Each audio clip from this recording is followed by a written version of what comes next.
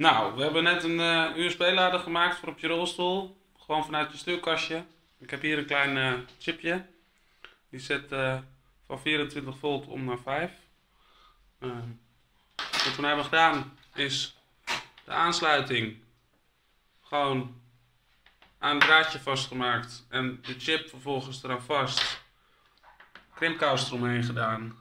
Er zit nu al een USB-kabel aan. De telefoon staat al aangesloten. Het is nu eigenlijk een kwestie van eh, kabel in het stuurkastje stoppen. En de telefoon, die wordt geladen. Simpel as that. 3,50 kost het. Is toch goedkoop hè mensen? Dus ehm, jullie kunnen bij mij het bestellen. Voor 20 euro maak ik het voor je. Dat jullie het weten. Het is ook heel netjes. Je kan het, eh, het is nog redelijk waterdicht.